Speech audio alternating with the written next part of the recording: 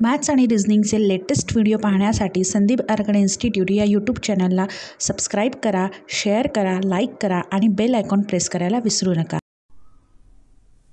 नमस्कार विद्यार्थी मित्रांनो तुमचं स्वागत आहे आपल्या युट्यूब चॅनलवर बघा मागचा व्हिडिओ ज्यांनी ज्यांनी रिक्वेस्ट केली होती की बाबा सर आंतरवेग वेग काय आहे? त्याचा सुरुवात करा त्यांचे व्हिडिओ घ्या. तर मागच्या व्हिडिओनुसार त्यांचं सॅटिस्फॅक्शन मिळालेलं आहे.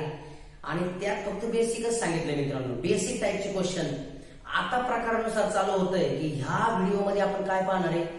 आगगाडीच्या रिलेटेड जी गणित आहे ती पाहणार आहे. पण ह्याच्यामध्ये काय आहे नक्की सर आता बघा समजा एखादी माझ्या हातामध्ये ही एक ट्रेन आहे आणि हे समजा इथे सिग्नल आहे किंवा व्यक्ती खांब काही म्हणा मग ह्या ह्या टाईपमध्ये काय आहे? की एखाद्या व्यक्तीला ओळखायचं असेल खांब ओळखायचा असेल दीपस्तंभ झाड सिग्नल असे काही शब्द येऊ शकतील. म्हणजे ह्यांना ओरडायचं असेल तर कशा प्रकारे जर सोडवलं पाहिजे हे आता आपण पाहणार आहे. तुम्हाला एक रिअल टाइम उदाहरण सांगतो बघा. ही ट्रेन आहे. हे ट्रेनचं पुढे रेड कलर जो दिसतोय तो तुमचं रेल्वे रेल्वेचं इंजिन ट्रेनचं इंजिन असं म्हणूया. आणि हा सिग्नल आहे. हा सिग्नल इथं उभा आहे. जेव्हा ही ट्रेन ओलांडतीये म्हणजे ही इनिशियल स्टेज झाली बघा मित्रांनो. सुरुवातीची परिस्थिती अशी असणार आहे. ओलांडती म्हणजे हा सिग्नल ह्याच जागी राहणार. फक्त ट्रेन पुढे पुढे पुढे पुढे जाणार. आणि ही अशी सिच्युएशन आली म्हणजे फायनल स्टेज आली फायनल म्हणजे ओलांडण्यासाठी किती वेळ लागेल? ट्रेनची लांबी किती? किंवा ट्रेनचा वेग किती? आपला जो डिश टीव्ही जो आहे तोच. म्हणजे इथं फक्त डी मध्ये काय बदल झालाय बघा. म्हणजे इथं डायग्रामॅटिक तुम्हाला दिसेल की एक ट्रेन आहे ही सुरुवातीची स्थिती सुरुवात अशी असणार सुरुवातीची स्थिती. सुरुवातीची स्थिती अशी असणार. ट्रेनची आता सिग्नल त्यात झाली फक्त ही काय परिस्थिती असणार? ही अंतिम स्थिती असणार फायनल अंतिम स्थिती. फायनल स्टेजला ही रे ही ट्रेन इकडे जाणार. म्हणजे ओलांडणार. ओला ओलांडणार सिग्नलला मग ओलांडत असताना सिग्नल तर त्या जागी फरक काय राहील ह्या ट्रेनची जी लांबी असते तो माझा डी असतो. म्हणजे डी म्हणजे काय? आपलं फॉर्म्युला फिक्स आहे. Dish TV D is equal to TV D ट्रेनची लांबी. अंतर म्हणजे ट्रेनची लांबी असणार. वेळ वेळ कशाचा असणार? सिग्नलला ओलांडण्यासाठी ट्रेनला किती वेळ लागेल? तो ओलांडण्याचा वेळ. आणि व्ही म्हणजे वेग कोणाचा असेल? साहजिकच ट्रेनचा वेग असेल. म्हणून ट्रेनचा वेग. मग ह्या तीन पैकी कोणते दोन किमती देणार? तिसरी किंमत काढायला लावणार. आणि त्याच्यानुसार सुद्धा मागच्या व्हिडिओमध्ये म्हणजे हा जे व्हिडिओ पाहताय त्यांनी मागचा व्हिडिओ पहिला पहा भाग एक जो आहे. भाग एक पहिला पहा. तर त्याच कन्सेप्ट तुम्हाला कळून जाईल. की अंतर वेळ आणि वेग यांचं एका सिस्टममध्ये एका एककाच्या सिस्टममध्ये कसं कन्व्हर्जन करायचं? म्हणजे अंतर जर किलोमीटर असेल तर वेळ तुमचा तासात पाहिजे आणि वेग तुमचा किलोमीटर पर आवर असेल. ह्या एकाच ह्याच्यात कन्व्हर्जन केल्यानंतर मग तुम्हाला कॅल्क्युलेशन करावी लागतात. ह्या प्रकारामध्ये आपण ते घेणार आहे. म्हणजे ह्याच्यामध्ये लक्षात ठेवा हा प्रकार काय तर प्रकार म्हणजे व्यक्ती खांब दीपस्तंभ असे कोणतेही शब्द येऊ द्या. हे ओलांडणे. असेल तर त्या ठिकाणी रेल्वेची लांबी असू द्या रेल्वेचा वेग असू द्या किंवा खांब ओलांडण्यासाठी सिग्नल ओलांडण्यासाठी किती वेळ लागतो हे इथं कळणार आहे. चला आपण उदाहरणावरून स्पष्ट करू. बघा आपण बेसिक तर पाहिले. आता सर एक्झाम्पल काय? तर हे एका पोलीस भरती परीक्षेला आलं होतं. तर गणित काय तुम्हाला कळलं पाहिजे. इथे बघा. इथं काय ओलांडते मित्रांनो? खांब ओलांडते खांब. खांब ओलांडते म्हणजे आपण डिस्ट्रीब्युट फॉर्म्युला डोक्यात ठेवायचा. म्हणजे डिस्टी फॉर्म्युला कोणाकोणासाठी? व्यक्ती खांब दीपस्तंभ झाड सिग्नल असं जर कोणते शब्द असतील. म्हणजे जे ओलांडताना ज्याचं स्वतःच काही लांबी नाही. तर ते असताना त्याला काय करायचं? डिश टीव्ही फॉर्म्युला वापरायचा. डिश करो बिश करो डिश टीव्ही ओके आता बघा. नव्वद मीटर लांबीची रेल्वे तुम्हाला माहिती आहे डिश टीव्ही मध्ये डी म्हणजे कोणाची लांबी असते? रेल्वेची लांबी असते. म्हणजे इथं नव्वद झालं. ठीक आहे? बघा. एक खांब सहा सेकंदात ओलांडते. खांब किती सेकंदात ओलांडते? सहा. म्हणजे वेळ झाला सहा. तर ती ओलांडण्याचा वेग जो आहे तो तासी काढायचा आता बघा मित्रांनो इथं परिस्थिती तुमच्या लक्षात येईल की इथं नव्वद बरोबर सहा गुणिले व्ही. आता हे नव्वद काय आहे? नव्वद काय आहे? किलोमीटर पर नव्वद काय आहे? मीटरमध्ये सहा काय? सेकंदात आहे. आणि व्हेलॉसिटी तुमचा व्ही निघणार आहे तो नव्वद भागिले सहा. म्हणजेच बघा सहा एक सहा. सहा पंचवीस म्हणजे पंधरा मीटर पर सेकंद आला. तुमचा वेग आला पंधरा मीटर पर सेकंद जर तुम्हाला वेग जर विचारला तर पंधरा मीटर पर सेकंद येऊ शकतो. पण तुमचा वेग कशा विचारलाय? ताशी. ताशी वेग विचारलाय. म्हणजे किलोमीटर पर आवर म्हणजेच काय? रूपांतर करताना कसं करतो? मीटर पर सेकंडचं किलोमीटर पर आवर जाताना पंधरा गुणिले अठराशे पाच. म्हणजे छोट्याकडून मोठ्याकडे जाताना अठराशे पाच. पाच पाच पाच त्रिक पंधरा. म्हणजेच तीन गुणिले अठरा अठरा ते चोपन्न चोपन्न किलोमीटर पर आवर हा त्या रेल्वे गाडीचा वेग असणार. मग तुमच्या एक लक्षात आलं तर खांब ओलांडण्यासाठी जरी मीटरमध्ये असेल सेकंदात असेल तर तुमचा वेग येणारा एकतर मीटर पर सेकंद असू शकतो किंवा किलोमीटर पर आवर असू शकतो. कन्व्हर्जन तुम्हाला कळली पाहिजे. सगळ्यात महत्वाची फॅक्ट हीच मित्रांनो. कन्व्हर्जन ज्याला कळली तर हे एकदम डाव्या हाताचा मळ एकदम म्हणावं लागेल. इतकं सोपं असतंय. फक्त कन्व्हर्जन पहिल्या व्हिडिओमध्ये व्यवस्थित बघून घेतलं कन्व्हर्जन एकदम कळलं तर पुढे अडचण येणार नाही. चला आपण अशाच प्रकारचे पुढचं दुसरं एक्झाम्पल पाहू. बघा पीएसआय पूर्व दोन हजार पाच ला म्हणजे आत्ताच्या पीएसआय परीक्षा आणि मागच्या पीएसआय परीक्षा यांच्यामध्ये थोडा चेंजेस होत गेलाय. पण गणित हा विषय असा आहे की तेव्हा सुद्धा त्याच लेवलची गणित होती आता सुद्धा त्याच लेवलची गणित आहेत. आपल्याला काहीच विसरून चालत नाही लक्षात ठेवा. म्हणजे जसं जीएच्या बाबतीत तुम्ही विचार केला तर ऑनलाईन क्वेश्चन येत होते तेव्हा आता ऑनलाईन नाही येत. तसं गणिताच्या बाबतीत काही नाही मित्रांनो. तेव्हाही तसं होतं आताही तसं होतं. फरक एवढा आहे की तुम्हाला त्यातून म्हणजे आउटपुट मिळालं पाहिजे. बघा इथे तुम्हाला कळेल ताशी छत्तीस किलोमीटर. म्हणजे मला कळलं माझा फॉर्म्युला तेच आहे. कारण काय ओलांडते मित्रांनो? खांब. म्हणजे माझं फिक्स आहे डिश टी डिश करू विश करू. अंतर कोणाचं अंतर असणार? ट्रेनची लांबी. काढायची मित्रांनो डी फिक्स आहे कसं ते काढायचं. किती वेळात ओलांडते? वीस सेकंदात किती वेळात वीस सेकंदात म्हणजे वीस. क्लिअर सेकंदात मित्रांनो सेकंदात बर. वेग किती दिलाय? छत्तीस. आता मित्रांनो हा छत्तीस काय आहे? किलोमीटर पर आवर हे काय वीस सेकंदात म्हणजे तुम्हाला परत एकदा सांगतो अंतर वेळ आणि वेग. यांचं ज्या वेळेस तुम्हाला कॅल्क्युलेशन करायचे असतात तर अंतर जर किलोमीटरमध्ये असेल तर वेळ हा तासात लागतो. आणि वेग नेहमी किलोमीटर पर आवर मध्ये येतो. या तीन मध्येच रूपांतर पाहिजे. दोन गोष्टी दिल्या तर दोन. ह्याच्यामध्ये असं तिसरं काढता येईल ह्या दोन असं ते काढता येईल. पण तुमचं जर मीटरमध्ये असेल तर वेळ हा नेहमी सेकंदातच पाहिजे आणि वेग हा नेहमी मीटर पर सेकंदातच पाहिजे. हे जे आहे ना हे हे तुम्हाला कळलं पाहिजे. एक तर हे तरी ऍक्सेप्टेड आहे किंवा हे तरी ऍक्सेप्टेड आहे. दोन्ही कन्व्हर्जन एका सिस्टममध्ये आणणं गरजेचं आहे. तर तुमची कॅल्क्युलेशन होतात आता वेळ हा सेकंदात दिला मित्रांनो सेकंदात. तर साहजिकच तुमचा वेग किलोमीटर पर आवर चालेल का? नाही मीटर पर सेकंद पाहिजे. मग किलोमीटर पर आवरचं मीटर पर सेकंद करताना किती गुणावं लागतं? तर पाचशे अठराने गुणावं लागतं. सिंपलची गोष्ट. कारण मोठ्याकडून छोट्याकडे जातोय.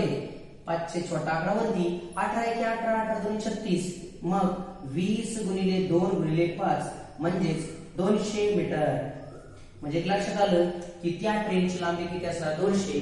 म्हणून पर्याय नंबर दोन योग्य आहे. आता हे सिस्टमॅटिकली तुम्हाला लिहून देते परीक्षेत डिस्ट्रीब्युशन काय लिहायची गरज नाही लागत. परीक्षेत फॉर्म्युला लिहायचाच नसतो. परीक्षेत फॉर्म्युल्यामध्ये डायरेक्ट किमती टाकून इम्प्लिमेंट करायचा असतो. म्हणजे परीक्षेत डायरेक्ट तुमची ही स्टेप पाहिजे डायरेक्ट आणि लेवल येते. परीक्षेत फॉर्म्युला लिहिण्यामध्ये जो दोन सेकंद एक सेकंद जो वेळ लागतो तीन सेकंद जो वेळ लागतो तो वाचणे म्हणजे पोरग दोन स्टेप पुढे गेले मित्रांनो. परीक्षेत असं लिहायचं नाही डायरेक्ट किमती टाकून फॉर्म्युला वापरता आला पाहिजे. आणि तो येणार तुमच्याकडून. कारण ही आणण्याची जबाबदारी माझी येणार. त्यामुळे तुम्ही काळजी करू नका. ठीक आहे? आपण पुढचं एक्झाम्पल पाहू. मित्रांनो बघा मी हे परीक्षेचे घेतो ना याचं फक्त रिअल टाइम तुमच्यापुढे एक्झाम्पल जावं. हाच हेतू लक्षात ठेवा बरं का. म्हणजे असा विचार न करू की परीक्षेला आलेच गणित नाही. तुम्हाला परीक्षेला निगडित डोळ्यासमोर असतील? या अशा प्रकारचे पण प्रश्न विचारले जातात आणि त्यावेळेस ते सुटतात ना त्यासारखा कॉन्फिडन्स नाही. त्यामुळे युपीएससीला येऊ द्या पोलीस भरतीला येऊ द्या अशी काही लेवल नाही. आपल्या गणिताच्या बाबतीत एकच लक्षात ठेवायचं. काय लक्षात ठेवायचं? की मला गणित जमलं पाहिजे. एकदा गणित तुमचं जुळलं की आयुष्याचं गणितच जुळणार आहे मित्रांनो. त्यामुळं तुम्हाला करताना टाईप प्रकार थेंबे थेंबे तळे साचवत जायचंय. मग ते कोणत्याही परीक्षेला येऊ काही होऊ. गणिताचा असा काही पॅटर्न ठरलेला नाही की ह्या परीक्षेला अशाच प्रकारचे गणित विचारले जाणार. अजिबात नाही. त्यामुळे तुम्ही तुमच्या लेवलने तुम्ही डन करणं गरजेचं आहे. पाहूया बघा जे परीक्षेला प्रश्न आला होता एका रेल्वेला एक झाड ओलांडण्यासाठी ओलांडते काय? झाड. चला फॉर्म्युला फिक्स डिश करो डिश करो. डिश टीव्ही परीक्षेला फॉर्म्युला तुम्ही लिहायचा नाही. फॉर्म्युला डोळ्यासमोर डोक्यात ठेवायचा आणि डायरेक्ट कॅल्क्युलेशन करायचं. आता रेल्वेची लांबी काढायची म्हणजे डी ची किंमत काढायची. बर किती वेळाला ओलांडते झाड नऊ वेळ नऊ सेकंदात ओलांडते वेग किती आहे? अठ्ठेचाळीस किलोमीटर पर आवर आता तुम्हाला एक गोष्ट कळेल हे सेकंदात आहे आणि किलोमीटर पर आवर आहे. एका एककात आहेत का? एका एकागत आहेत का? नाही. एका सिस्टममध्ये आहेत का? नाही. म्हणजेच काय? नऊ आणि अठ्ठेचाळीस. अठ्ठेचाळीस लिहिलं तर हे kilometre per hour metre per second करून घ्या. मग कसं करणार मीटर पर सेकंद तर पाचशे अठराने गुणायचं सिंपल किलोमीटर पर हवरचं मीटर पर सेकंद करताना पाचशे अठराने गुणलं जातं. बघा आता भाग द्यायचा उत्तर येईल नऊ एके नऊ नऊ दुने अठरा. बे एके बे बे दुने चार बे चोक आठ. म्हणजे उत्तर किती आलं? चोवीस गुणिले पाच म्हणजेच एकशे वीस मीटर. म्हणजेच लक्षात येईल तुमच्या की त्या रेल्वेची लांबी एकशे वीस मीटर आहे. इतकं सोपं आहे मित्रांनो. प्रश्न कधी कधी इतका मोठा असतो. की तो वाचण्यामध्ये जितका वेळ जातो ना त्याच्यापेक्षा सात कमी म्हणजे निम्मा सुद्धा वेळ आणि काय एकदम काही सेकंदाचं उत्तर येते. बघा ना तुम्ही. वरचा प्रश्न मी फॉर्म्युला नाही लिहिला तर स्टेप फक्त ही. आणि तुम्हाला हे मीटर मीटर काय लिहायचंय का? हे तोंडी येतात तोंडी? चोवीस पाच एकशे पटकन. लगेच क्लिक होऊन जातं बघा मित्रांनो. इतकं सोपं गणित प्रकारे. चला आपण अशाच प्रकारे आपण पुढचं एक एक्झाम्पल पाहू. चला ह्या प्रश्नामध्ये तुम्हाला अशी काही गोष्ट सांगणार आहे जे फक्त एक टक्केच मुलं वापरतात. म्हणजे प्रश्न सोडवण्याची पद्धत प्रश्न सोडवण्याची काही फॉर्म्युले सगळ्यांना माहीत असतात. पण परीक्षेला अपेक्षित काय? आहे? जेणेकरून एक एक दोन दोन सेकंद वाचतील सर आमचे. आणि थेंबे थेंबे तळे साचून आमचा सगळा पेपर कव्हर होईल. आणि परिणामी जे एक वर्ष जास्त लागणार आहे आम्हाला पास होण्यासाठी ते एक वर्ष कमी झालं की आनंदी मित्रांनो मी तुम्ही तर असणारच आहे पण मी सगळ्यात जास्त आनंद येईल कारण माझ्यामुळे जर फायदा होत असेल तर माझ्यासारखा आनंदी दुसरा कोण असेल? बघूया. इथे काय शिकणार तुम्ही? बघा एकशे वीस मीटर लांबीच्या आगगाडीला आगगाडीची लांबी गडी एकशे वीस मीटर. एक दीपस्तंभ ओलांडते म्हणजे वरती बघा व्यक्ती काम दीपस्तंभ झाड यांच्यापैकी आहे. म्हणजे माझा फॉर्म्युला फिक्स डिश करो डिश करो डिश टीव्ही ओके बघा डी डी म्हणजे काय? कोणाची लांबी असते रे? आगगाडीची लांबी म्हणजे एकशे वीस मीटर. कळलं? एकशे वीस मीटर लांबीचं आगगाडी. एक दीपस्तंभ ओलांडण्यासाठी किती वेळ घेते दहा सेकंद. म्हणजे बघा इथं दहा बरोबर व्ही आता एक गुणिले व्ही इथे बघा हे मीटरमध्ये हे सेकंदमध्ये काहीच अडचण नाही. म्हणजे ह्यांचं कन्वर्जन होऊ शकतं. म्हणजे व्ही बरोबर एकशे वीस भागिले दहा म्हणजे व्ही बरोबर बारा मीटर पर सेकंद. हे उत्तर तुमचं आलं. पण तुम्हाला आगगाडीचा वेग हा मीटर पर सेकंद पुढे दिसत नाही. तुम्ही बारा उत्तर पाहून लगेच गडबड लगेच घाबरत जायचं किंवा गडबडायचं कारण नाही. जास्त घाई करायचं कारण नाही बरं का. बऱ्याच वेळा काय होईल? मी जर पेपर सेटर असेल तर मी पर्याय पहिलाच देईन बारा. मग तुम्ही लगेच म्हणणार बारा लगेच पाहत जा बारा काही पाहत जा. म्हणजे हे मीटर पर सेकंद एक किलोमीटर पर आवर आहे. बऱ्याच वेळा मित्रांनो मी प्रत्येक माझ्या अकॅडमीमध्ये प्रत्येक विद्यार्थ्याला सांगतो एखादा प्रश्न नाही आला तर दुःख नाही. पण येत असून जर चुकला ना तर आपल्यासारखे हुशार आपणच लक्षात ठेवायचं. अशा चुका कधीच करायच्या नसतात. म्हणजे सिली मिस्टेक्सला आता वावच नाही मित्रांनो एवढं लक्षात ठेवायचं. आता बघा व्ही किंमत आली बारा मीटर पर सेकंद मग हे किलोमीटर पर हवर म्हणते म्हणजेच काय? बारा गुणिले किलोमीटर पर हवर करायचं म्हणजे याला अठराशे पाच ने गुणायचं. बघा मित्रांनो किलोमीटर इथे परत सांगतोय मी. किलोमीटर पर आवरचं रूपांतर मीटर पर सेकंद करताना काय करतात? आणि मीटर पर सेकंदाचं रूपांतर इकडे करतात. आता आपल्याला मीटर पर सेकंदाचं करायचंय ना तर ह्याचं रूपांतर इकडे करताना नेहमी अठराशे पाच ने भाग गुंतात आणि इकडून इकडे करताना पाच छेद अठराने गुंतात म्हणजे मोठ्याकडून छोट्याकडे जाताना छोट्या आकड्यावरती. छोट्याकडून मोठ्याकडे जाताना मोठ्या आकड्यावरती. एवढं लक्षात ठेवा. म्हणजे इथं जर पाहिलं तर तुम्ही आता भाग जात नाही तर बऱ्याच वेळा यांनी याने जर भागलं पाच एक पाच पाच दुले दहा उरले वेळी दोन दोन वरती शून्य म्हणजे पाच चोक वीस. चोवीस गुणिले अठरा. तर बघा मित्रांनो तुम्हाला जी नवीन गोष्ट शिकवायची ती आता इथे कॅल्क्युलेशनमध्ये आपला मेन पर्पज चार पर्यायशी मित्रांनो चार पर्यायशी बरोबर?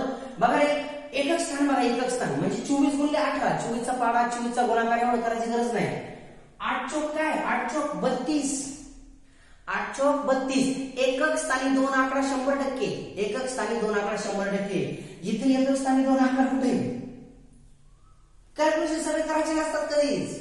पर्याय म्हणजे नजर महत्वाची आहे. बघा ना चार आठ बत्तीस. एकक स्थानी दोन शंभर टक्के येणार. एकक स्थानी दोन फक्त तीन नंबर पर्यायामध्ये. मग तो किती ती मला माहीत नाही. जर दोन पर्यायामध्ये दोन असेल दॅट टाइम तुम्ही यूज करा पण मला नाही वाटत प्रश्नामध्ये पर्यायामध्ये ते प्रकार वापरला जातो. मग या गोष्टी बघा ना एक दोन सेकंद वाचले रे मित्रांनो. वाचले. आणि तुम्ही जर तुम्हाला विचार करून जर पाहिलं ना ठराविक एक टक्का विद्यार्थ्यांचेच पाडे पाडले. नाही तर बाकीच्यांचे पाडे पाठ आहे ना दहा पर्यंत त्याच्यावरती नाही. कारण हे सगळे आपलं तुम्हाला माहिती मला माहिती. मी पहिले अकॅडमीमध्ये पाडेच पाठ करून घेतो. कधी गरज लागू शकते. लक्षात ठेवा. त्यामुळं काही गोष्टी स्मार्टली जर केलं तर अडचण येत नाही. म्हणून पर्याय नंबर तीन आला. बघा मित्रांनो व्हिडिओ छान वाटत असेल तुम्हाला. एक एक एक एक पायरी वर जात जायचे मित्रांनो. ह्या प्रकारचे तुम्ही हा दुसरा व्हिडिओ आहे तो व्यवस्थित बघून घ्या. मला परत म्हणायची वेळ नाही पण म्हणायला भारी वाटते बघा मित्रांनो. लाईक करा कमेंट करा आणि शेअर करायला विसरू नका. धन्यवाद मित्रांनो. Good bye